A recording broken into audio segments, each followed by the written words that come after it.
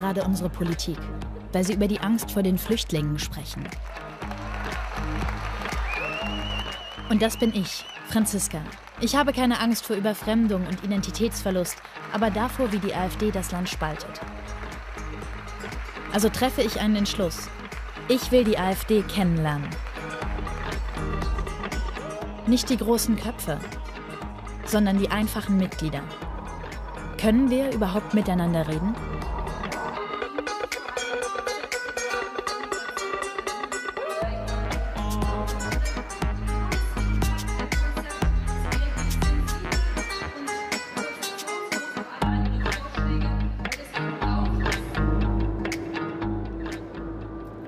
Bin auf dem Weg ins Sauerland.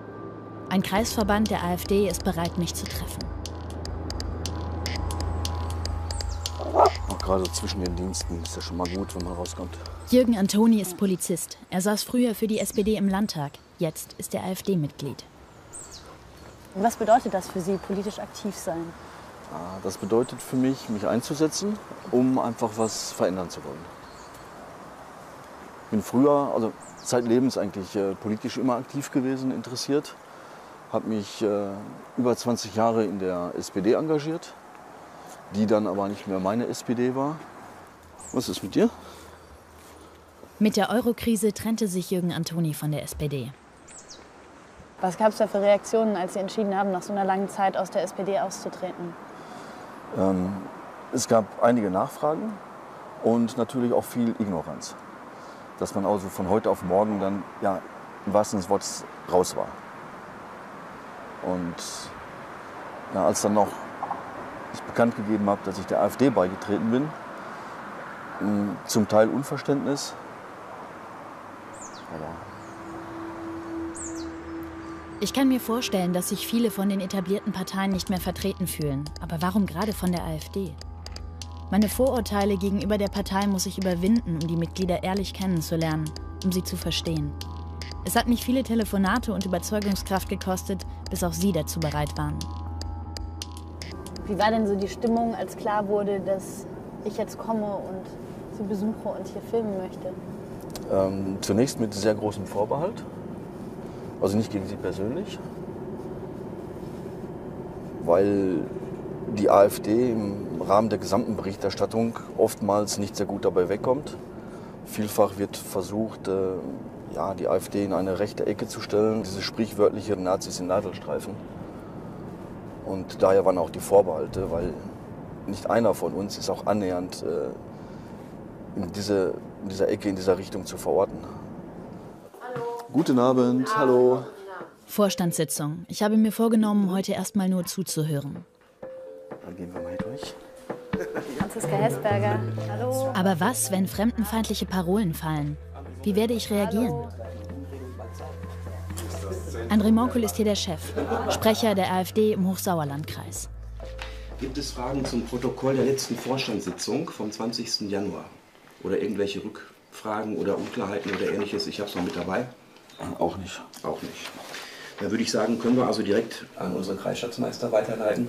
Wir brauchen also mehr Mitglieder. Bei dem telefonischen, bei dem ersten telefonischen Kontakt, das muss ich mal ganz ehrlich sagen, da gehört auch eine ganz gehörige Portion Fingerspitzengefühl. Und wenn es da Hinweise gibt, dass irgendjemand pro ist, also pro NRW oder gar NPD, ist das ein No-Go, also ein sofortiges Ausschlusskriterium. Die Leute wollen wir nicht bei uns haben. Was sind das für Kriterien in dem Gespräch? Wie klopfen Sie das ab oder wenn Sie Gespräche Ja, man durchführen? kann ja, wenn man ein bisschen geschickt ist, kann man ja sehr schnell mal, sagen wir, ich sag das mal so als Psychogramm davon, mal, dann sagt er, was er macht oder wo er wohnt und äh, etc. In den sozialen Medien wird nachgeguckt, was kann ich unter den Namen finden. Ich gucke bei Google und wir finden das in fast allen Fällen. Aber, Und, das, Auf, äh, aber das Aufnahmegespräch, wenn das so, ich Ja. sag mal, wir sind ja auch alle erfahren, äh, wir würden selbst einen Schläfer entlarven. Offenbar ist es Ihnen ein großes Anliegen, mir zu sagen, dass Extremisten hier nichts zu suchen haben. Ich bedanke mich für die Aufmerksamkeit, für das Arrangement und mit diesem letzten Wort ist dann diese Sitzung hiermit geschlossen. Sie wollen sich wirklich auf mich einlassen und haben mich für die nächste Mitgliederversammlung eingeladen. Auch die AfD in Köln ist zu einem Treffen bereit. Aber es ist schwierig. Sie wollen mich während der Dreharbeiten filmen, um sich abzusichern, das Material vielleicht auch veröffentlichen. Darauf lasse ich mich nicht ein, denn so kann man bestimmt nicht offen miteinander reden. Hallo. Hallo, Frau Hesberger, grüße Sie. Willkommen. Roger Beckham ist Anwalt und Ratsmitglied. Hallo. Hallo. Wie die Gerards und einer ist noch Frau Hesberger. Also, wir sind gerade dabei, die Ratssitzung vorzubereiten. Dann haben wir heute einen Antrag dabei, ähm, der werde ich auch was zu sagen. Das Thema ist Aufnahmestopp. Ab 10. Februar keine Flüchtlinge, keine Asylbewerber mehr aufzunehmen, nicht mehr unterbringen zu können. Ähm, dieser Antrag wird grandios scheitern, also da wird keiner für stimmen, da wird auch keiner was zu sagen außer uns. Es gibt zum Beispiel, so wurde es uns auch mitgeteilt, ein offizielles Klatschverbot innerhalb der CDU-Fraktion bei AfD-Beiträgen. Beim ersten Wortbeitrag damals der ersten Sitzung bei mir kamen mehrere zu mir von der CDU und sagten, super Rede, ganz toll, wunderbar, trauen wir uns nicht. Ja, die werden auch irgendwann nach und nach mehr in die Kandache genommen. Und ich klatsche auch bei den Linken, genauso die anderen auch, wenn es halt gut ist, ganz ehrlich. Ich habe das Gefühl, er tut alles, um nicht das Klischee eines AfD-Mitglieds zu bedienen. Aber Aufnahmestopp für Flüchtlinge klingt sehr nach AfD. Sitzung im Kölner Stadtrat. Frau Obermeisterin, Herr Mattis, liebe Ratspersonen. Etwas völlig anderes ist die Aussage von Frau Beatrix von Storch von der AfD auf Facebook, wonach es Grenzbeamten im Zweifelsfall geboten sei, bei illegalem Grenzübertritt auch auf Frauen und Kinder zu schießen. Das ist ein Beispiel für eine törichte verbale Grenzüberschreitung und ist allein die private Meinung von Frau Storch, keine allgemeine Meinung der AfD oder von sonstigen vernünftigen Leuten. Und glauben Sie mir, so schafft man keine Sicherheit, sondern nur Empörungspotenzial, genauso wie gerade. Überraschend. So viel Kritik an der eigenen Parteiführung? Da sind wir einer Meinung. Was die Flüchtlingspolitik angeht, sicher nicht. Die Stadt platzt aus allen Nähten, was die Unterbringung von Flüchtlingen anbelangt. Denn sie alle haben die Tür geöffnet, genau wie Frau Merkel, und uns allen ein gewaltiges Problem beschert. Das ist so. Das kann man mit Seufzen bedenken, aber es ist so. Die Bezirksregierung möge ab 10. Februar keine weiteren Asylbewerber mehr nach Köln zuweisen. Vielen Dank. Herr Beckamp, äh, es kostet Geld, die Flüchtlinge unterzubringen, das ist vollkommen klar. Aber ich würde Ihnen empfehlen, die Lektüre des Grundgesetzes und äh, die Aufgaben, die Kommunen zu erledigen haben in Verbindung mit dem Asylrecht. Ich bitte jetzt.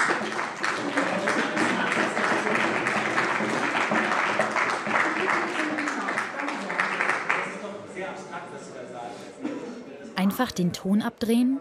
Für mich ist das keine echte Auseinandersetzung. Wo sollten denn die Menschen hin, wenn Köln jetzt auf einmal sagt, wir nehmen keinen mehr auf? Das wäre das Signal, dass andere Kommunen auch sagen, wenn Köln das nicht tut, dann können wir erst recht nicht mehr, weil ja letztlich dann noch mehr zu den anderen kommen. Und dass dadurch auch die Bundesregierung gezwungen ist, sich Gedanken zu machen, wo sie wirklich ansetzt. Wenn in 15 Jahren hunderte Millionen mehr Menschen auf der Welt leben, was glauben Sie, welchen Weg die gehen? Ich glaube auf jeden Fall nicht, dass Deutschland eine Mauer um sich bauen kann. Okay. Aber was glauben Sie, aber unabhängig davon, was, welchen Weg werden die gehen? Wie die Zukunft in 15 Jahren aussieht, weiß ich auch nicht. Aber mir macht das auch keine Angst. Der AfD anscheinend schon. Im Sauerland treffen sich die Parteimitglieder. Guten Abend. Folgen Sie uns einfach. Heute Abend sind auch interessierte Bürger willkommen. Einige wollen nicht gefilmt werden, haben Angst, Probleme im Job zu bekommen. Ich darf Ihnen heute einen Gast vorstellen. Einen jungen Mann, der aus Syrien zu uns gekommen ist. Das Erste, was er gemacht hat, hat sich in Dortmund an der Sprachschule angemeldet und hat mittlerweile auch ein Studium aufgenommen. Seine Heimat, hat er mir erzählt, ist nicht mehr seine Heimat Syrien, weil die zerstört ist. Er selber ist Christ, was es noch schwieriger macht. Seine Großeltern sind in Syrien durch den ISIS äh, hingerichtet worden. Und ich finde das total bewundernswert und mutig, dass du das hier machst und dich hinstellst und sagst, so ist das. Der syrische Flüchtling will nicht erkannt werden und erzählt eine Geschichte, die mich erschreckt. Es gibt äh, Bekannter, er ist in Deutschland seit zehn Jahren, kommt aus Libanon, er ist auch Muslim. Ich war in, in dem Bus, äh, sitze mit ihm, dann kommt eine deutsche Frau. Und dann er hat ihr Handy genommen. Ich habe gesagt, warum äh, machst du das? Er hat gesagt, sie ist eine deutsche Frau, sie ist ein Schwein. Ihr Handy ist für mich halal. Ja, dann habe ich gesagt, du hast Geld, du hast Wohnung und alles. Du musst sagen, danke schon Deutschland, aber du, du sagst, scheiße Deutschland. Von meiner Eins möchte ich mal bitte hier feststellen. Wie dieser Mensch spricht Deutsch. Ein Kompliment. Hervorragend. Das sollten viele Türken, die in der zweiten, dritten Generation sind. Ey. Das sollten die sich mal anhören. Das ist ein Beispiel an Er war auch bei der SPD und bei Pegida, hat aber beides nicht gepasst, erzählt er mir. Heute also die AfD. Was ist deine? Kritik, dass viele Flüchtlinge hier kriminell sind? Uh,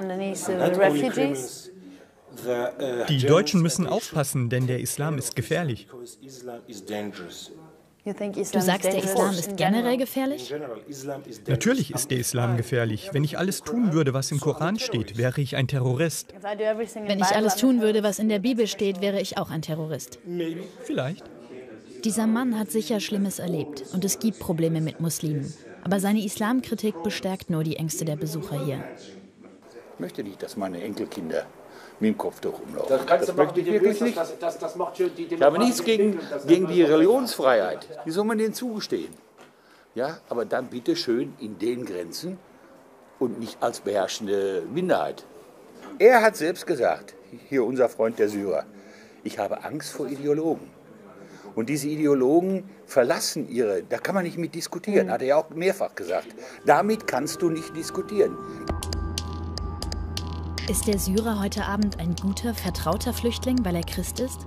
Und sind Muslime dann schlechte, fremde Flüchtlinge, weil der Islam gefährlich ist? Eine Pauschalisierung, die ich nicht teile. Im Sauerland wurde auf das Fraktionsbüro geschossen. Niemand wurde verletzt, aber Polizei und Staatsschutz ermitteln. Auch die Täter drücken sich vor einer offenen Auseinandersetzung und überschreiten für mich eine Grenze. Wie fühlen Sie sich jetzt nach diesen Schüssen? Ja, wie fühlt man sich? Schwierig zu sagen. Also erstmal äh, zu Anfang ein beklemmendes Gefühl. Einige unserer Fraktionskollegen haben noch ein schlechteres Gefühl, sagen, "Hm, ich möchte im Moment nicht ins Büro, ist zu gefährlich. Sehen Sie das in einem Zusammenhang mit den Debatten um die Schusswaffen an den Grenzen, jetzt durch Frau Petri und Frau von Storch? Hm, Ich glaube nicht, dass das zusammenhängt. Es gibt im Moment eine allgemeine ja, Miesmache gegen die AfD. Die Mitglieder wollen wegen der Schüsse demonstrieren und weil Eigentümer unter Druck gesetzt werden, wenn sie der AfD Räume vermieten. Das sind die Argumente des politischen Gegners. Die machen dann einfach einen Fall nach rechts, der dann auf diese drei Einschusslöcher zeigt. Ah, Demokratie braucht Platz, auch bei Veranstaltungen. Stimmt, aber sie braucht auch Menschen, die sich an ihre Werte halten. Was ich total unverständlich finde, ist, dass jemand wie, ähm, wie Frau von Storch sich nicht mal entschuldigt und sagt, hey Leute, das, äh, das geht gar nicht, sondern relativiert und sagt, aber der macht doch das und der macht doch das und der macht doch das. Also ich frage mich, wie, wie sich das als AfD-Mitglied anfühlt, wenn der Vorstand so agiert. Ich muss natürlich auch klar sagen, dass man auch innerhalb einer Partei nicht immer komplett einer Meinung ist. Sondern die AfD ist ja in einer Phase, wo sie sich professionalisiert, wo sie sich aufbaut und wo auch viele Menschen natürlich auch Dinge einfach lernen müssen. Das ist auf der Kreisebene genauso, wie auch eben bis zur, zur Bundesführung. Weil nicht komplett einer Meinung sein ist ja nochmal was sehr anderes, als Meinungen zu vertreten, die tatsächlich, was, was demokratische Grundwerte betreffen, sehr grenzwertig sind. Die demokratischen Grundwerte bei der Bundesführung der AfD sind völlig, völlig selbstverständlich. Und ich habe da also absolutes Vertrauen äh, zu unserer Führung. Und ich bin einfach der Auffassung, dass wir an einem Punkt sind, wo wir Einwanderung vernünftig regeln sollten. Ich könnte es runterbrechen auf die Aussage, ich möchte die Rechte der aufnehmenden Gesellschaft stärken. Ich glaube gar nicht, dass unsere Werte so in Gefahr sind und unsere Kultur. Ich habe da irgendwie überhaupt keine Angst vor. Deshalb finde ich es auch falsch, AfD-Veranstaltungen zu boykottieren. Wir brauchen eine kritische Auseinandersetzung und nicht zwei Fronten. Also jeder guckt auch zumindest zu uns rüber. Und äh, wir kriegen auch aus den Fahrzeugen raus Zuspruch mit Daumen hoch. Also es wird wahrgenommen. Aber wie können sie hier für Meinungsfreiheit demonstrieren, während der Thüringer AfD-Chef Höcke Merkel in einer Zwangsjacke abführen will, wenn sie ihre Politik nicht ändert? Und äh, insofern werden wir auch dieses Land verändern. Das ist für mich keine Frage. Es dauert, es braucht viel Geduld. Ähm, aber letztendlich werden wir das erreichen, da bin ich ganz sicher. Auch wenn es weiterhin so Leute gibt wie Herrn Höcke. Auch wenn es so Leute gibt wie Herrn Höcke. Schauen Sie, der Höcke ist ja weit weg in Anführungsstrichen Thüringen. Auch wenn ich die, die Art und Weise, wie er nach außen tritt, nicht teile, so bin ich doch der Meinung, dass er ein anständiger Mensch ist. Aber dass es jemand sagt, es gibt den afrikanischen Platzhaltertypen, beziehungsweise den europäischen Platzhaltertypen, den afrikanischen Ausbreitungstypen. Völlig absurde biologische Rassentheorien, die nicht auf den Menschen angewandt werden normalerweise. Also ich stimme mit diesen Aussagen nicht überein. Das muss man ganz klar sagen und das ist auch der weite Konsens in der, in der AfD. Man muss auch irgendwo Aber er holt der AfD ja auch viele Stimmen. Kollegen auch eine gewisse Grundfreiheit lassen, seine Thesen da, wie er das meint, auch zu verbreiten. Ähm, Finden Sie, man muss ihm die Freiheit lassen, sowas zu verbreiten? Ja, er ist letztendlich dort Chef der, der Ratsoption in, in Thüringen im Landtag. Er Aber umso schlimmer. Die Mitglieder der AfD stehen offenbar hinter Björn Höcke. Für mich ist er mit seinen Thesen als Politiker inakzeptabel. Die langen Gespräche sind anstrengend. Trotzdem fühlt es sich gut an, offen zu reden.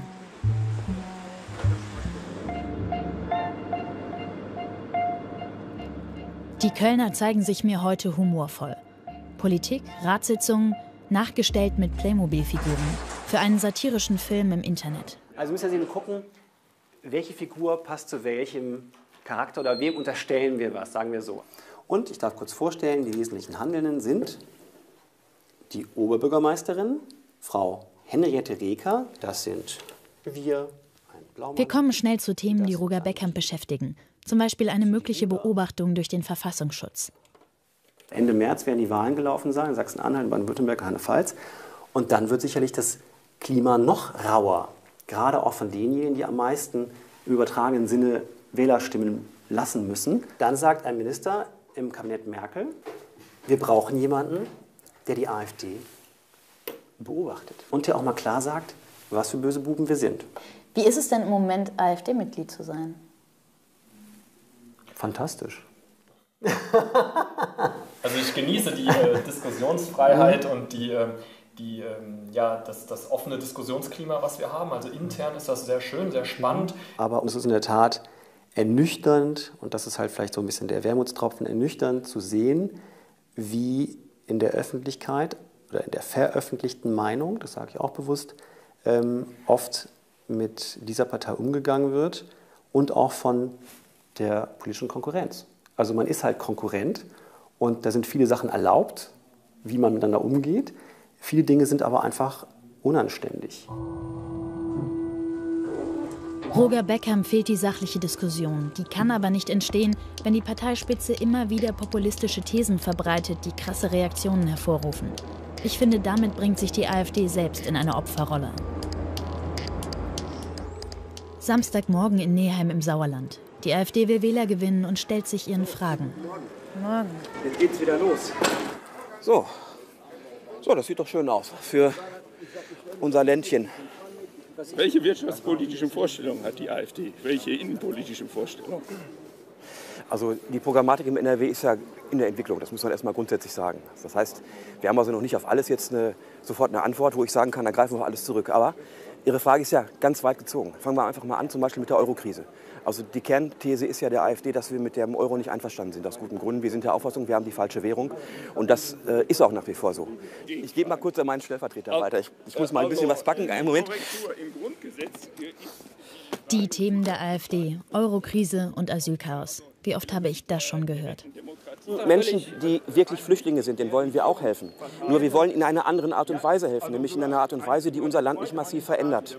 Ich glaube, Sie Denn- haben noch keinen elfjährigen Flüchtling getroffen, der keine Sohlen unter den Schuhen hatte, der äh, über die Balkanroute 25 Tage gewandert ist. Ich arbeite in der Jugendhilfe. Genau den Jungen haben wir bekommen. Ja? Ich kann es nicht nachvollziehen, dass Eltern also Kinder auf diese Route schicken, bis nach Deutschland zu kommen. Das halte ich für unverantwortlich. Einmal was mitnehmen zum Lesen, so als Bettlektüre heute Abend mal.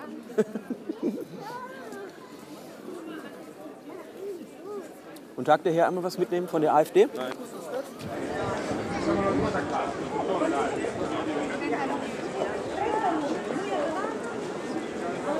Eine Neuaufnahme haben wir jetzt hier gerade. Super. Ja, schön. Ähm, sagen die mit? Ja. Das ist ein, jemand, der ein neues Mitglied werden will. Äh, geworden ist gerade, ja. Wenn es Vormitgliedschaften gegeben hat bei Pro NRW oder NPD, wäre das jetzt ein Ausschlusskriterium. Warum sind da Leute drunter, die vielleicht auch aus dem rechtsextremen Bereich kommen, wie Sie jetzt sagen, pro NRW? Hm, Das ist durchaus möglich.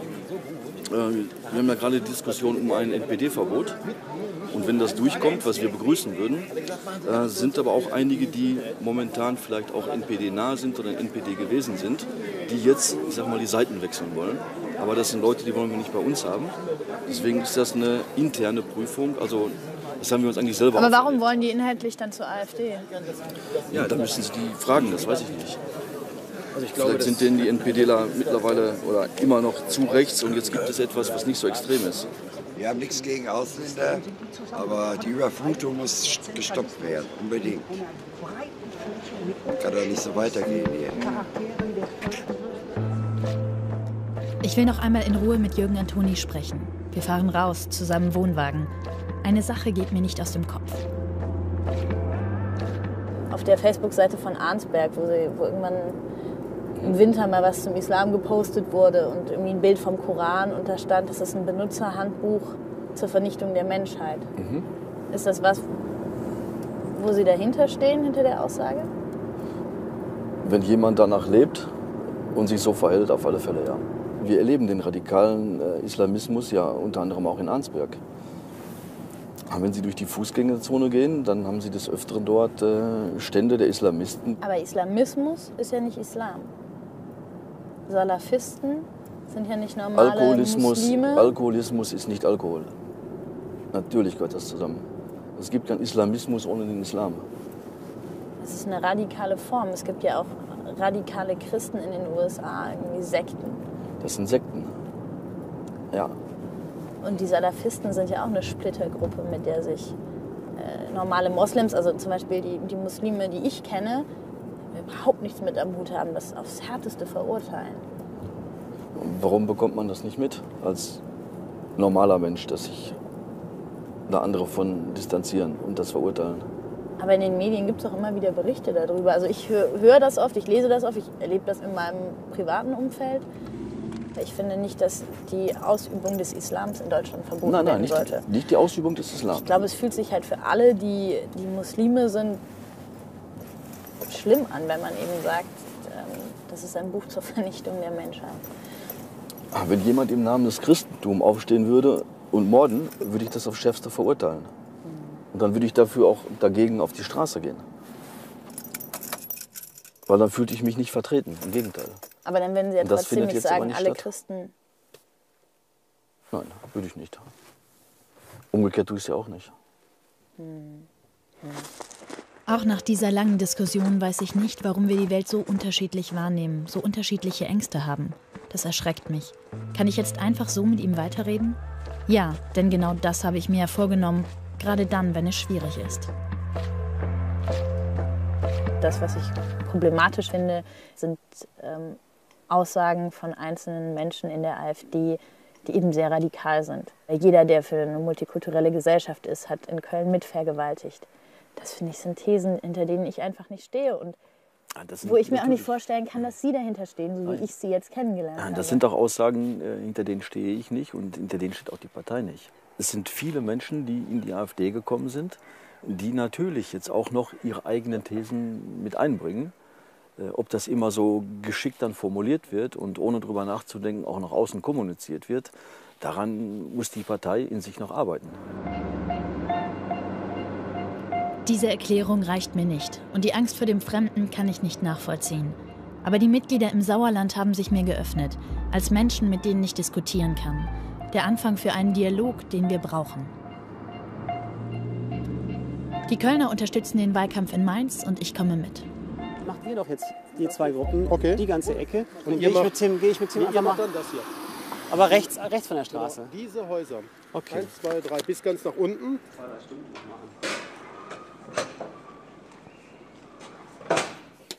Noch ein und immer weiter. Was sind so die wichtigsten Sachen, die Sie bewogen haben oder die Sie inhaltlich gestört haben, um dann Mitglied der AfD zu werden? Die Familienpolitik.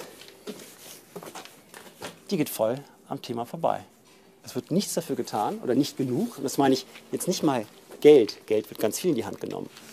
Aber oftmals an den falschen Stellen. Was will denn die AfD verändern für Familien? Einfach mal äh, eine Wertschätzung für Familien auch wieder etablieren und sagen, das ist gut, das ist auch zukunftsbejahend. Was heißt das konkret, eine Wertschätzung etablieren? Dass man es auch vorlebt, ehrlich gesagt. Vorlebt? Ja, dass man es auch vorlebt. Und was heißt das konkret? Also ich finde allein schon, wenn man das so klarer formuliert, dass man gewissen Werten oder Umständen einen anderen Stellenwert gibt in der öffentlichen Darstellung.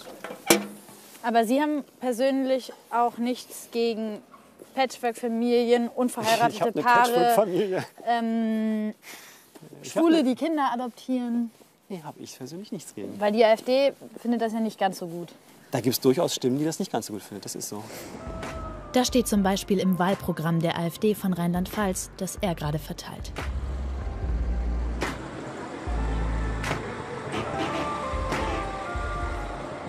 Ja, auf Flüchtlinge schießen und so. Ja, ist doch Quatsch, oder? Ist doch eure Meinung. Nee. Doch, das hat die Storch gesagt. Ja, und dann ist es unsere Meinung? Ja, klar. Ja, laufen Sie in die falsche Richtung. Schönen Tag noch. Ja. Nee, ganz ehrlich. Ich wünsche Nee, euch ja, alles. ja, ich wünsche Ihnen auch alles. Aber nichts Gutes. Ja, das ist sehr freundlich. Meine Stimme habt ihr. Vielen Dank. Dankeschön. Schönen Tag. Er distanziert sich von Äußerungen der Parteispitze, ist gegen vieles, womit sie polarisiert. Und trotzdem setzt er sich so für die AfD ein. Ich merke, ich finde es ich find's so, ich find's so schwierig. Ehrlich? Ja, ich finde es echt schwierig. Ist aber doch interessant, wenn es schwierig ist auch. Ja, natürlich ist es interessant, aber Einfach irgendwie, ich kriege das nicht zusammen, dass sie sich von so vielen Sachen distanzieren, dass sie auch viel verurteilen und sagen, das ist nicht in Ordnung, dass sie auch sagen, Das werden Sie bei ganz vielen anderen auch genauso sehen. Ich, ich passe doch. Also das ist ja gerade der Sinn auch einer, und das meine ich ganz ernst, einer wirklich kommenden Volkspartei, dass da viele Gedanken sich versammeln und natürlich nicht alle 100 Prozent hinter allem stehen oder auch von Aussagen. Äh, wenn es die Partei gäbe, wäre ich wahrscheinlich das einzige Mitglied. ja, aber sie sagen, sie sind gegen Hetze in Talkshows und dann Ja. wird veröffentlicht, der Koran ist ein Vernichtungshandbuch zur, äh, ein Ja. Benutzerhandbuch zur Vernichtung Finde ich, der finde Menschheit. ich einen blöden Spruch. Ich finde das nicht einen blöden Spruch. Ich habe total viele muslimische Freunde. Ich finde das, ich finde das ist, das ist irgendwie Hetze. Konkret zu dem Spruch denke ich mir auch, was soll das? Ich denke bei so vielen, was soll das? Und ich würde es ja, das- gerne nee, verstehen. bei so, also ich stehe hinter ganz, ganz überwiegenden Zahl der Aussagen der AfD, aber das ist doch schon eine Aussage, denke ich auch, was soll das? Blödsinn. Genau.